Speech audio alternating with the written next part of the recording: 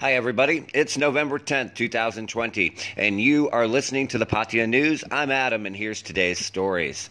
So, what we're going to cover today are some of the top stories from yesterday, as well as things that are currently going on.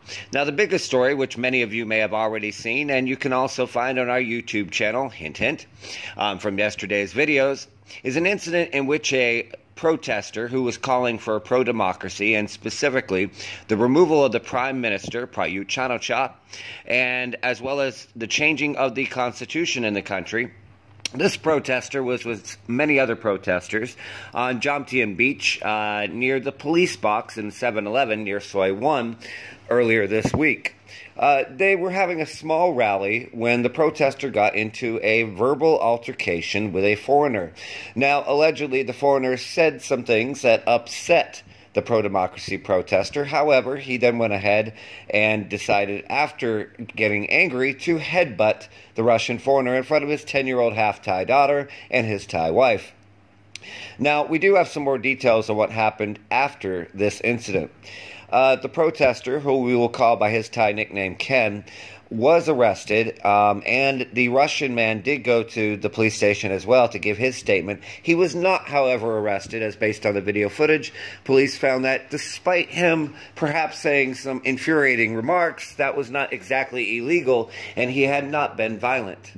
Ken, however, did have to pay uh, reported 10,000 baht in terms of a bail money and was released. He does have a future court date, according to the Pattaya police, although that exact court date was not given.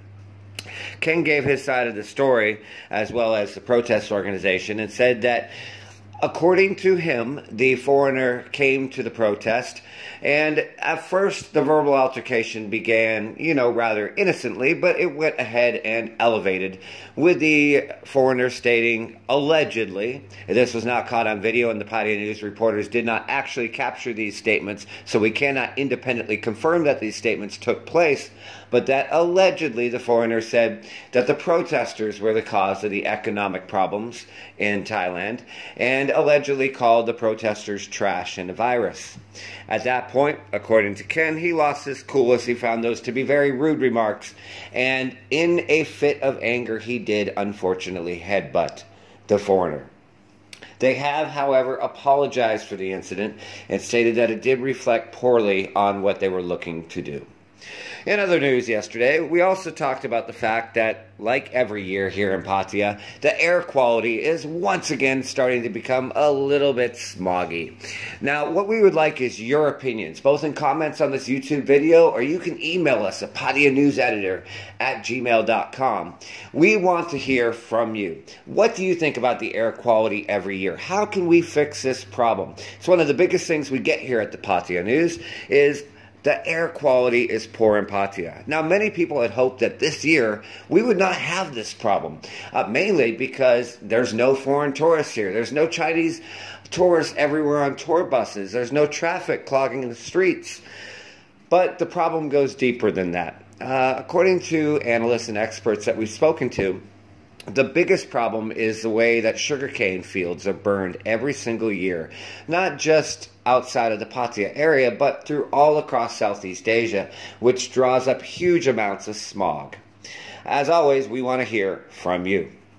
The next story is actually what you're watching in this video above. So what you're seeing here is Pattaya Police as well as the Hai Marine Patrol going ahead and inspecting earlier this weekend all the boats and area Bali Hai Pier for safety standards. Uh, now, we expect over the next couple of weeks a lot of domestic tourists coming to Pattaya. As we've discussed in other videos, we've got fireworks festivals, music festivals. They are doing everything they can to try to go ahead and get Thais to come to Pattaya because foreigners cannot. So meanwhile, Pattaya police are ensuring that there are no problems down at Pattaya Bay, down at the pier, checking boats and checking COVID-19 safety standards as well. As always, we want to thank you for listening to the Pattaya News. If you want daily updated news videos, please go ahead, eh, hit that subscribe button by clicking on the Pattaya News icon in that lower right hand corner comment us, let us know what's going on. We want to hear from you as your local community news leader. Thank you.